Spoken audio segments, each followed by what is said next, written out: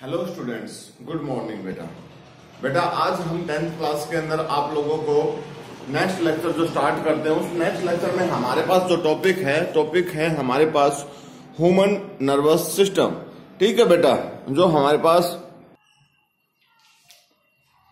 human nervous system human nervous system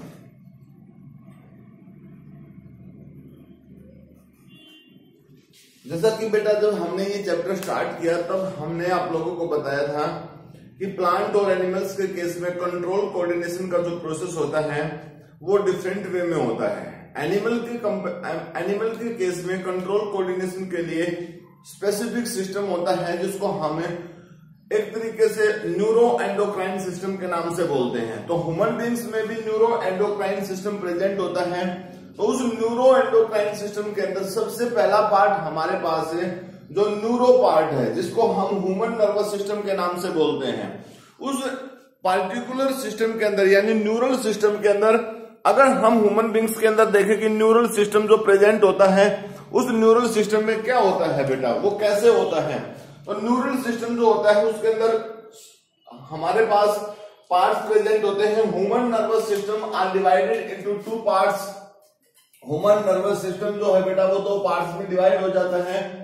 One is the central nervous system and another is the peripheral nervous system P N S यानी हमारे पास दो part हो गए बेटा, एक तो सेंट्रल नर्वस सिस्टम होगा, दूसरा हमारे पास पार्ट कौन सा होगा बेटा?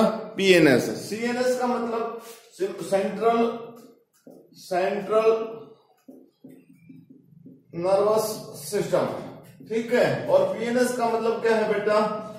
पेरीफेरल नर्वस सिस्टम देखिए, इसका मतलब क्या होता है? जैसे मैं अपनी बॉडी की बात करता हूँ बेटा, इस तरीके से। मेरी बॉडी के सेंट्रल पार्ट्स में ये सब प्रेजेंट है, और पेरिफेरल में जिस तरीके से मेरे हाथ है, पैर है, ये साइड में प्रेजेंट होते हैं। तो ऐसे में हमारी बॉडी के अंदर भी नर्वस सिस्टम जो है, वो सेंट्रल नर्वस सिस्टम जिसको बोला है बेटा, वो सेंट्रली प्रेजेंट है। और पेरिफेरल नर्वस सिस्टम जो प्रेजेंट है बेटा, वो साइड में प्रेजेंट है। अब पेरिफेरल नर्वस सिस्टम जो है बेटा, वो साइड में कैसे प्रेजेंट है? किस तरीके से रोल प्ले करता, क्या काम करता है? तो बेटा, ये जो सिस्टम प्रेजेंट है, जिसमें हमारे पास क्या है? सेंट्रल नर्वस सिस्टम देखिए सेंट्रल नर्वस सिस्टम जो हमारे पास है central nervous system are divided into again two parts one part is the central nervous system में दो पार्ट है बेटा। ब्रेन, ठीक है ना? क्या क्या है ब्रेन, और सेकंड क्या है बेटा? स्पाइनल स्पाइनल कॉर्ड ठीक है? दोनों के दोनों पार्ट हैं, ठीक है ना सर? ब्रेन जो होता है उसको क्या बोलते हैं हमें? अगर साइंटिफिक टर्म में बोले, उसको बोलते हैं एनसिफलोन एनसिफेलॉन ठीक है? ब्रेन एनसिफलोन बोला जाता है। स्पाइनल कॉर्ड जो होती है उसको बोलते हैं बेटा माइलियोन क्या बोलते हैं? माइलियोन बोलते हैं। ठीक है, अभी पेरिफेरल नर्वस सिस्टम जो हमारे पास प्रेजेंट है, इस पेरिफेरल नर्वस सिस्टम में क्या चीज़ है बेटा? It is also consist of two parts कौन कौन से पार्ट प्रेजेंट हैं? एक तो हमारे पास क्या है बेटा? Voluntary voluntary peripheral nervous system दूसरा हमारे पास क्या है बेटा? इसको हम क्या बोल सकते हैं? इन वॉलेंट्री पीएनएस ठीक है ना? वॉलेंट्री एंड इनवॉलेंट्री अब वॉलेंट्री और इनवॉलेंट्री का क्या मतलब होता है बेटा? वॉलेंट्री का मतलब होता है जो एक तरीके से हमारे बिल के अकॉर्डिंग वर्क करती है। और जबकि इनवॉलेंट्री का मतलब क्या होता है बेटा? ऐसा पार्ट ऐसा सिस्टम उसका, जिसके बेस के ऊपर ऑटोमेटिक सिस्टम होता है इसके अंदर। ऑटोमेटिक सिस्टम का मतलब क्या होता है? जो हमारे बिल के अकॉर्डिंग काम नहीं करता। लेकिन इंटरनली जो ऑर्गन प्रेजेंट होते हैं विजुअल ऑर्गन जो होते हैं जैसे फॉर एग्ज़ाम्पल हार्ट जो होता है, वो ब्लड को पंप करता है। और हार्ट ब्लड को पंप करता है तो हमारे विल को अकॉर्डिंग थोड़ी करता है। वो तो खुद मीन्स ब्रेन से सिग्नल जो आता है उसके पास मतलब नर्वस सिस्टम से सिग्नल जो आता है, उसके अकॉर्डिंग वो वर्क परफॉर्म करता है, बेटा। तो इस तरीके से ह्यूमन नर्वस सिस्टम जो है, बेटा, उस ह्यूमन नर्वस सिस्टम के अंदर दो पार्ट हैं। Central nervous system and peripheral nervous system. Central nervous system are divided into two parts, brain and spinal cord. and peripheral nervous system again divided in two parts that is the voluntary and involuntary peripheral nervous system तो अब हम एक एक part को बताएँगे सबसे पहले हमारे पास क्या है बेटा सेंट्रल नर्वस सिस्टम इस सेंट्रल नर्वस सिस्टम में ब्रेन और स्पाइनल कॉर्ड को हम पढ़ेंगे बेटा ठीक है तो हमारे पास क्या है? सेंट्रल नर्वस सिस्टम ठीक है ना? हम किसकी बात कर रहे हैं? सी एन एस की बात कर रहे हैं बेटा। सी एन एस की बात कर रहे हैं। तो इस सी एन एस में हमारे पास कौन कौन से पार्ट है? सबसे पहले हमारे पास पार्ट है बेटा ब्रेन अब ब्रेन जो पार्ट है बेटा, इसको बोलते हैं एनसिफेलोन ये साइंटिफिक टर्म है एनसिफेलोन बोलते हैं बेटा। ठीक है? A person who work on to the brain that is called the encephalologist ठीक है ना? उसको एनसिफोलॉजिस्ट बोलते हैं। The study of brain is called study of a brain. Is called called encephalology encephalology brain की स्टडी को क्या बोलते हैं बेटा? एनसिफेलॉजी बोलते हैं। पर्सन जो ब्रेन के ऊपर ब्रेन की स्टडी करता है या उसको काम करता है, उसको एनसिफोलॉजिस्ट बोलते हैं। अब देखिए human brain are divided into three parts human brain जो है बेटा human brain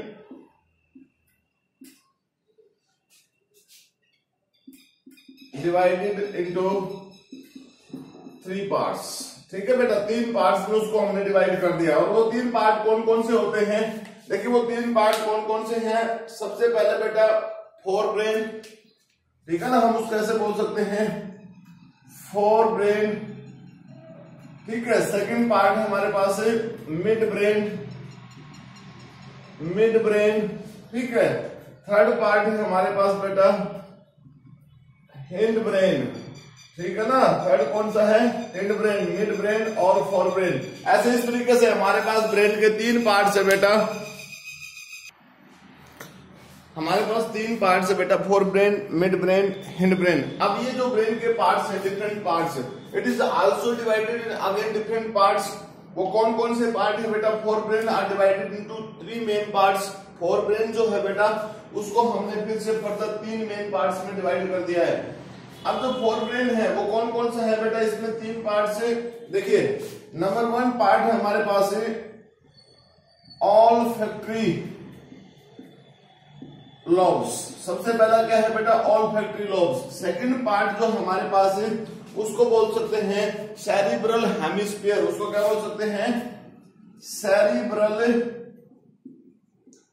हेमिस्फीयर ठीक है ना? उसको क्या बोल सकते हैं? हेमिस्फीयर और थर्ड पार्ट है बेटा diencephalon diencephalon ठीक है? उसको क्या बोल सकते हैं हमें? डाई एनसिफिलोन बोल सकते हैं। सेकेंड ब्रेन यानी mid brain are divided into two part से सेरिब्रल पेडेंसल ठीक है ना बेटा?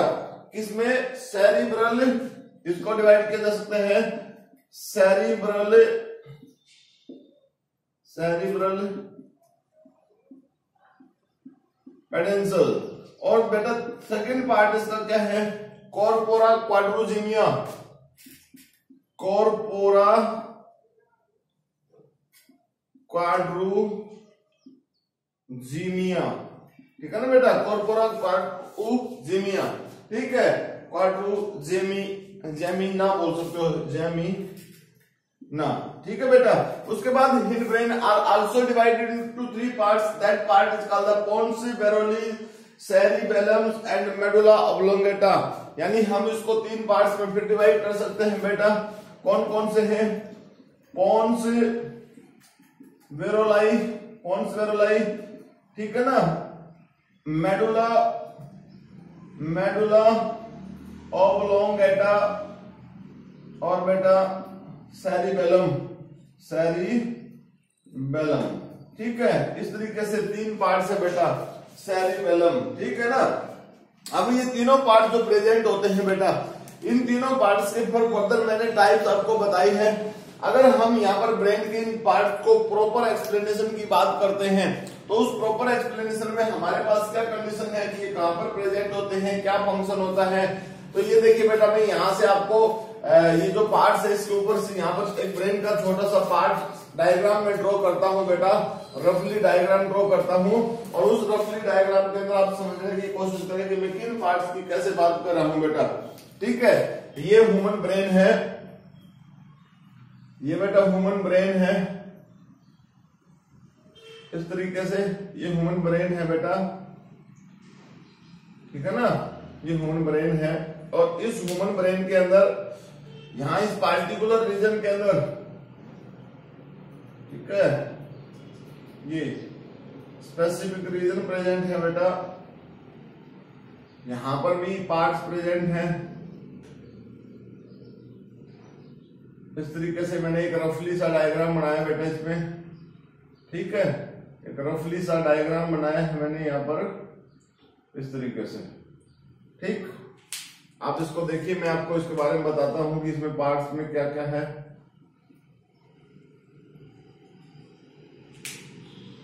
ठीक है ना? इसके पार्ट्स में क्या क्या प्रेजेंट है बेटा? कैसे कैसे हैं वो पार्ट्स ठीक है? तो ये ह्यूमन ब्रेन है। सबसे पहले हमने बात किसकी की बेटा?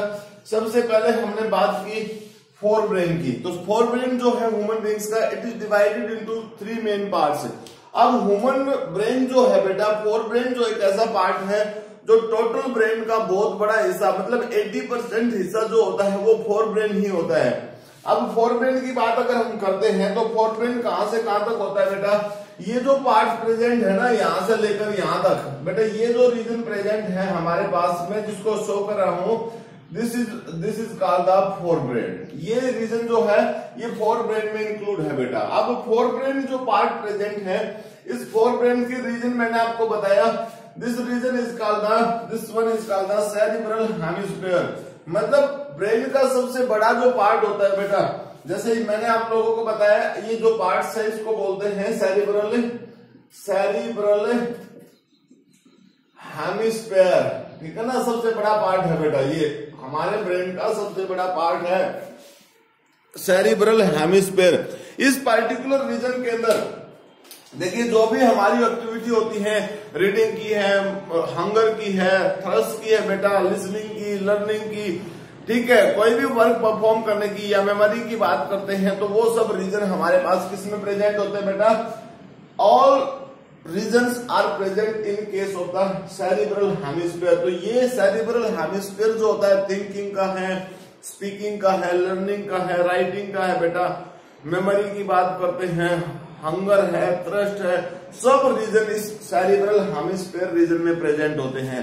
देन उसके बाद हमारे पास नेक्स्ट पार्ट कौन सा बेटा? दूसरा पार्ट हमारे पास अगर हम यहाँ पर देखें this one is region called the olfactory lobe अब देखिए, मैंने यहाँ पर स्पेशल स्पेशल स्ट्रक्चर बना रखी है। ये स्ट्रक्चर दिखाई दे रही है आपको that is called olfactory olfactory lobe अब देखिए, ये ऑल फैक्ट्री लॉग जो प्रेजेंट होती है, बेटा, इसका क्या काम होता है? नॉर्मली हम इसको ये कह सकते हैं this is responsible for the smell किसके लिए है? To taste the smell smell को टेस्ट करने के लिए ये रीजन प्रेजेंट होता है। ऑल फैक्ट्री लॉब अब इस ऑल फैक्ट्री लॉब को अगर हमें एक तरीके से देखें, बेटा, इसमें कौन कौन सा पार्ट है तो ऑल फैक्ट्री लॉब जो होती है वो दो पार्ट्स में डिवाइड होती है। ऑल फैक्ट्री बल्ब और ऑल फैक्ट्री स्टॉक के नाम से हम उसको बोल सकते हैं। ठीक है ना? इसमें दो रीजन प्रेजेंट होते हैं, ऐसे पाउच लाइक स्ट्रक्चर में हम इसको बना सकते हैं ऐसे। तो ये तो है बेटा olfactory olfactory stalk ठीक है? और ये क्या हमारे पास है? ऑल फैक्ट्री पाउच या नॉब बोल सकते हो बेटा आप। ठीक है ना? क्या बोल सकते हो नॉब बोल सकते हो। तो इस तरीके से ऑल फैक्ट्री लॉब जो होती है बेटा डिवाइडेड इन टू पार्ट्स और इसका मेन फ़ंक्शन क्या है बेटा? इसका फ़ंक्शन है कि ये हेल्प करता है to taste the smell smell को टेस्ट करने में मदद करता है। ना उसके बाद थर्ड पार्ट की बात करते हैं। थर्ड पार्ट कौन सा बेटा? डाई एंसिक्लोन ये थर्ड पार्ट है हमारे पास किसका? फोर ब्रेन का। फोर ब्रेन का डाई देखिए, ये जो रीजन प्रेजेंट है बेटा, ये जो रीजन प्रेजेंट है this one is called the diencephalon ठीक है ना, इस रीजन को हम क्या बोलते हैं? डाई एंसिफोलोन रीजन के नाम से बोलते हैं बेटा। अब डाई एंसिफोलोन इतना इंपॉर्टेंट इस ब्रेन का मतलब टोटली ब्रेन की बात करें तो पार्ट तो सारे इंपॉर्टेंट है। लेकिन फिर भी डाइएनसिफिलोन एक ऐसा पार्ट है बेटा जिसका बहुत ज़्यादा इंपॉर्टेंट रोल है। ठीक है तो डाइएनसिफेलोन जो रीजन प्रेजेंट होता है बेटा, इसका क्यों इंपॉर्टेंसी होती है? यू नो कि आप सबने कुछ सुन ब्रेन के बारे में सुना है कि brain have consist of the different type of the glands also like hypothalamus and pituitary gland both glands are most important gland pituitary gland is called the master gland और hypothalamus is called the headmaster. It means both the glands are both the glands are help into to control totally body. दोनों की दोनों जो glands होती हैं, बेटा, वो totally body को कंट्रोल करने में मदद करती हैं। तो यहाँ देखिए बेटा, ये जो रीजन प्रेजेंट है, ये जो रीजन स्टाक लाइक स्ट्रक्चर जो आपको दिख रही है छोटी सी स्ट्रक्चर इसको हम क्या बोलते हैं? पिचूटरी बॉडी के नाम से बोलते हैं। मतलब ये हमारे पास क्या है? पिचूटरी ग्लैंड है। बेटा ये हमारे पास क्या है? पिचूटरी ग्लैंड है। इस पिचूटरी ग्लैंड से इस पार्टिकुलर रीजन को अगर हम देखते हैं यहाँ पर तो ये रीजन हमारे पास क्या है?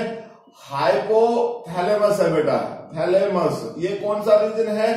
हाइपोथैलेमस रीजन प्रेजेंट होता है बेटा। ये हाइपोथैलेमस रीजन है। तो इस तरीके से अगर हम बात करते हैं तो ये जो रीजन है मोस्ट इंपोर्टेंट रीजन है बेटा। हाइपोथैलेमस है। अब एपी रीजन भी प्रेजेंट है। एपी मतलब ऊपर थैलेमस रीजन के ऊपर वाला जो पार्ट होता है वो हैपी है।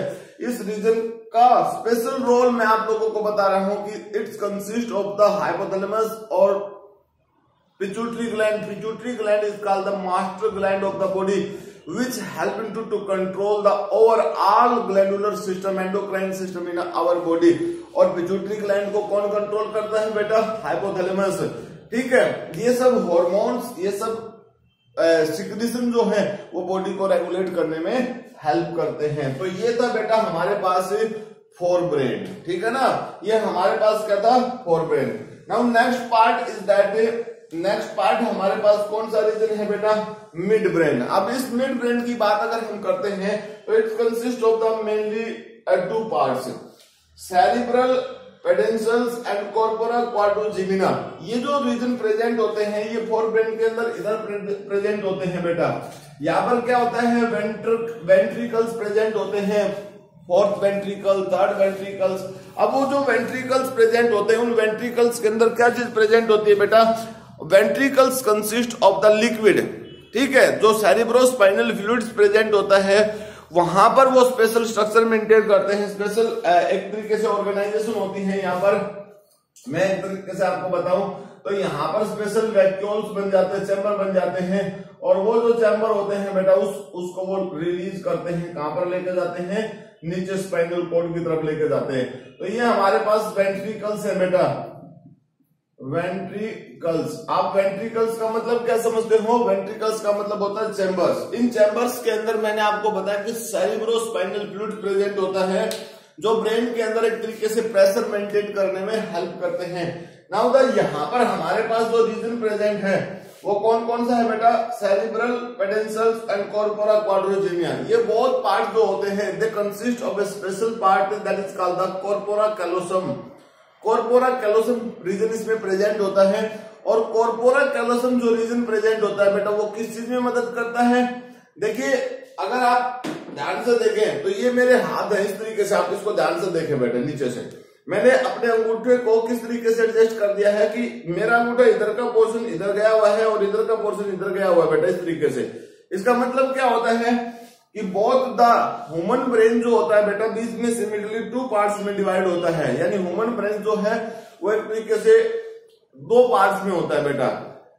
लेफ़्ट पार्ट जो होता है ब्रेन का, वो राइट right पार्ट को कंट्रोल करता है। लेफ़्ट राइट पार्ट जो होता है ब्रेन को, वो बॉडी के लेफ़्ट पार्ट को कंट्रोल करता है। तो ऐसे में बोथ पार्ट जो प्रेजेंट होते हैं बेटा, उन दोनों में क्या क्या सेपरेटरी रेगुलेशन है? ऐसी सिचुएशंस में एक दूसरे के बीच में कोऑर्डिनेशन मेंटेन करने के लिए कॉर्पोरा कलोसम जो रीजन की मैं बात कर रहा हूँ बेटा that's the most important region और ये पार्ट जो होता है बेटा, ये कहाँ पर प्रेजेंट होता है?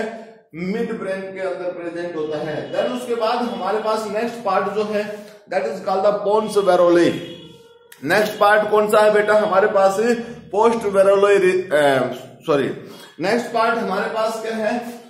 ब्रेन का हिंड ब्रेन पार्ट बेटा। कौन से?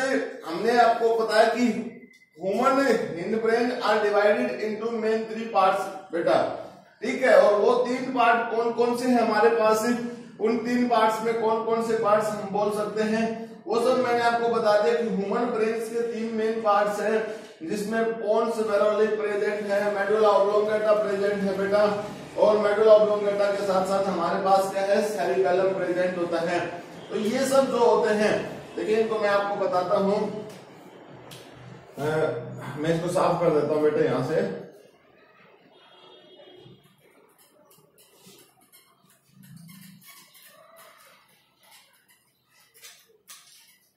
ठीक है ना? ये तो फोर ब्रेन के पार्ट अब हम चलते हैं हिंड ब्रेन पे। तो देखिए ह्यूमन हिंड ब्रेन जो है उसमें तीन मेन पार्ट बेटा। देखिए वन पार्ट अब इसको मैं ज़्यादा ऊपर लेके चलाएगा बेटा। आप इसको ज़्यादा ऊपर ना समझे। ठीक है? Number one two and three this one three ठीक है? ये हमारे पास क्या है? ये पार्ट फोन्स वेरोलाई ठीक है बेटा? ये हमारे पास क्या है? सरी बैलम ये क्या है बेटा? सरी बैलम ठीक है? देन उसके बाद हमारे पास कौन सा है बेटा? मेडुला मेडुला ऑफ़ लॉन्गेटा ये रीजन है। ठीक है? ये तीन पार्ट्स होते हैं बेटा। किसके हैं? This parts are the hind brain अब इन पार्ट्स का क्या रोल होता है?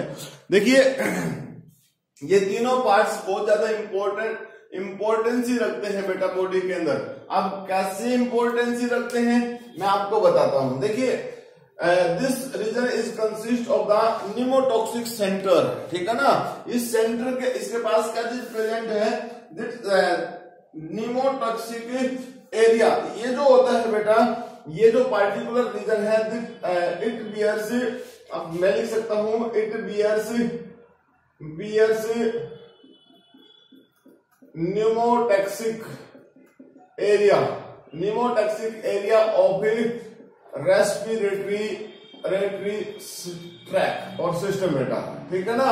ह्यूमन रेस्पिरेटरी सिस्टम जो होता है ह्यूमन रेस्पिरेटरी सिस्टम मतलब गैसेस एक्सचेंज जो होता है बेटा, वो किसके पास, उसका सेंटर किसके पास प्रेजेंट होता है? जो रीजन प्रेजेंट होता है, उस पोन्स रीजन में वो टैक्सिस स्पेशल सिस्टम प्रेजेंट होता है बेटा? उस सिस्टम के थ्रू ही ह्यूमन की जो ह्यूमन बींग्स की बॉडी जो होती है, वो रेस्पिरेशन का जो सिस्टम होता है मतलब जिसके केस में इनहेलेशन और एक्सहेलेशन का प्रोसेस होता है। ठीक है ना? किसका प्रोसेस होता है? इनहेलेशन और एक्सहेलेशन आप इसका मतलब समझते हो इन हेलेसन और बेटा एक्स हेलेसन एक्स हेलेसन आप इसका मतलब समझते होंगे ना इनहेलेशन और एक्स हेलेसन मतलब इनहेलेशन में तो ऑक्सीजन एंट्री की जाती है और एक्स हेलेशन में कार्बन डाइऑक्साइड रिलीज़ की जाती है बेटा। तो इस तरीके का जो सेंटर होता है, जो किसको कंट्रोल करता है? रेस्पिरेशन को कंट्रोल करता है। ना उसके बाद क्या बेटा? Cerebellum region this one is the also called the eater tree of eater आप इसको ये भी बोल सकते हो tree of tree of eater ठीक है ना बेटा? इसको ट्री ऑफ़ ईटर के नाम से भी बोल सकते हैं, क्योंकि ऐसे ब्रांचेस पार्ट्स में दिखाई देता है। प्लांट की तरह ब्रांचेस पार्ट्स में दिखाई देता है। अब ये जो सेरिबेलम रीजन होता है बेटा, इस सेरिबेलम रीजन का क्या रोल होता है? Cerebellum region is the most important region in the human brain क्यों? Because it's help in to to maintain the balance equilibrium and coordination ये तीन काम करता है। क्या क्या करता है बेटा? देखिए, ये तीन काम करता है। बैलेंस, इक्विलिब्रियम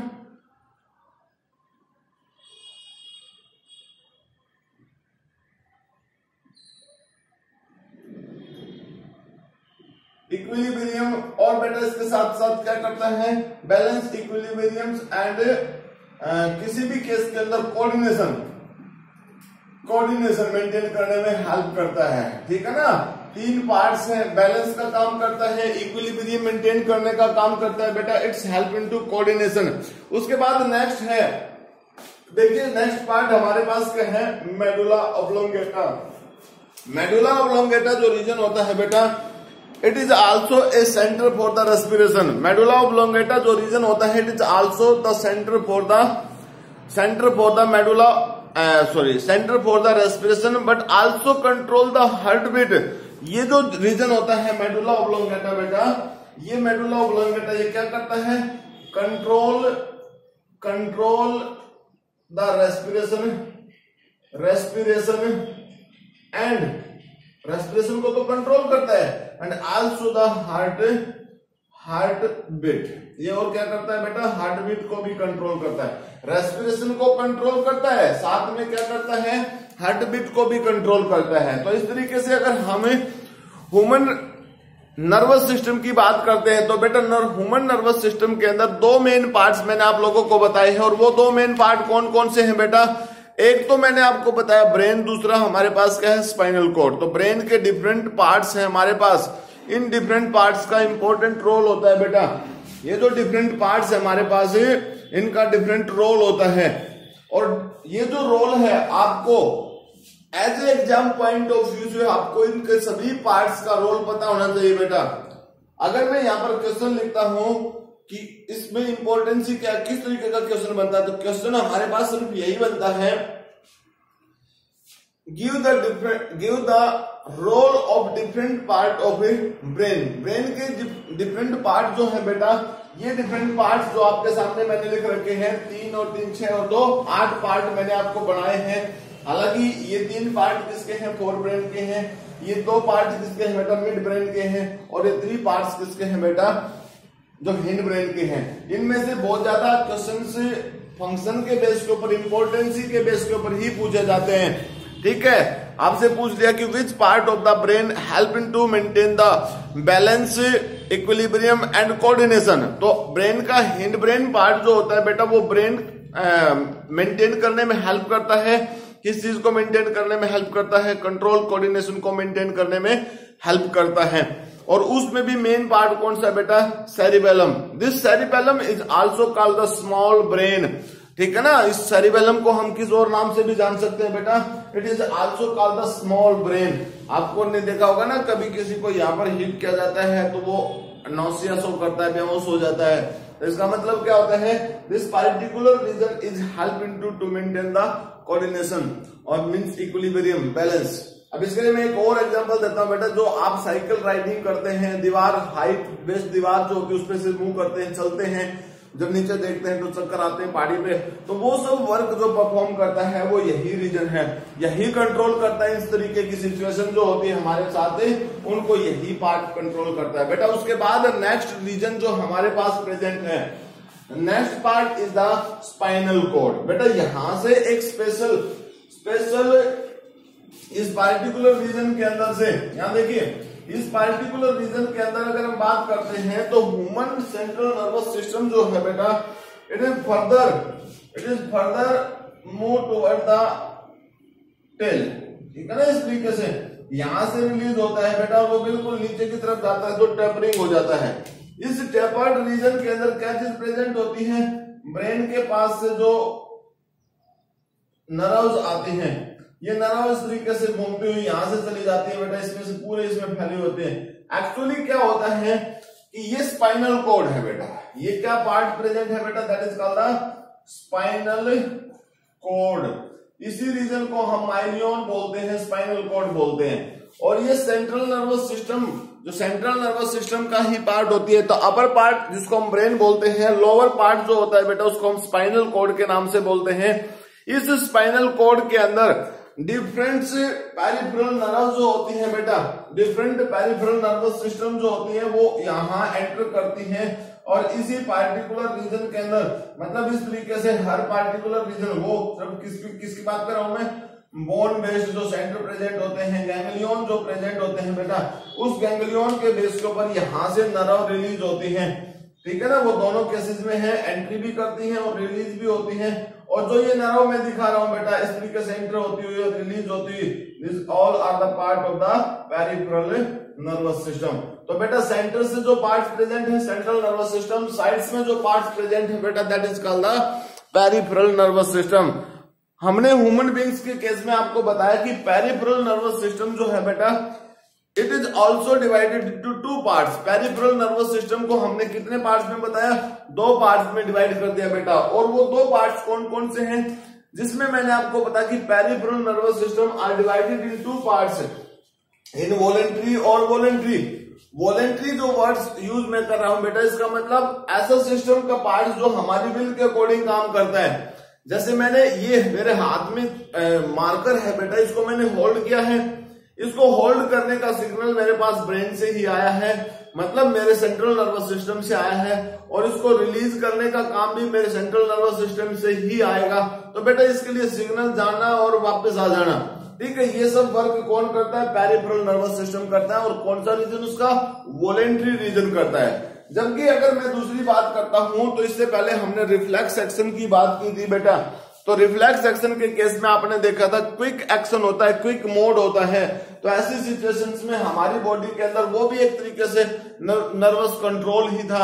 उसके साथ साथ हमारी बॉडी के जो इंटरनल पार्ट्स प्रेजेंट होते हैं बेटा, उस इंटरनल पार्ट्स के बेस के ऊपर भी कंट्रोल जो होता है, वो इनवॉलेंट्री ठीक है ना? ऑटोनॉमिक जो नर्वस सिस्टम होता है, वही उसको परफॉर्म करता है। ह्यूमन बॉडी के अंदर क्रेनियल नर्व प्रेजेंट होती है बेटा। स्पाइनल और क्रेनियल नर्व प्रेजेंट होती है। ह्यूमन बॉडी में जो क्रेनियल और स्पाइनल नरव होती है, देखिए क्रेनियल नरव जो होती है, जो ब्रेन से डायरेक्टली कंट्रोल मतलब ऐसे बॉडी के ऑर्गन्स होते हैं जो ब्रेन से डायरेक्टली कंट्रोल किए जाते हैं। जैसे विजुअलाइजेशन की बात करते हैं ऑकोलोमोटर की बात करते हैं, बेटा। ये सब जो पार्ट्स होते हैं, ये डायरेक्टली हम कहाँ से कंट्रोल करते हैं? ब्रेन से कंट्रोल करते हैं। तो ह्यूमन बींग्स के अंदर twelve pair cranial nerve present होती है।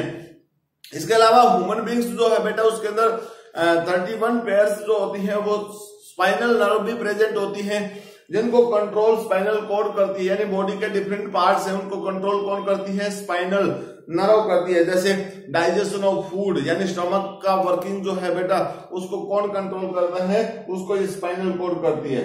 स्पाइनल कोड के द्वारा कंट्रोल किया हुआ सिस्टम स्पाइनल नर्व्स में इंक्लूड है बेटा। ब्रेन के द्वारा कंट्रोल किया हुआ सिस्टम जो होता है that's include in case of a किसके केस में? क्रेनियल नर्व तो आज के लेक्चर में हमारे पास, हमने जो आपको बताया बेटा वो ह्यूमन नर्वस सिस्टम है। तो इससे रिगार्डेड इंपॉर्टेंट क्वेश्चन ये है हमारे पास बेटा कि ह्यूमन नर्वस सिस्टम के जितने भी पार्ट्स हैं, उन डिफरेंट पार्ट्स के क्या फ़ंक्शन है? तो आप अपनी नोटबुक में इनको लिखें। ये हमारे लिए होमवर्क भी है और बेटा ये जो पोर्शन है, हमारी नॉर्मल जनरल साइंस जिसको बोलते हैं, उसकी जीके के लिए बहुत ज़्यादा इंपॉर्टेंट है। तो बेटा आज के लेक्चर में इतना ही। मिलते हैं नेक्स्ट लेक्चर में। तब तक के लिए thank you bye have a nice day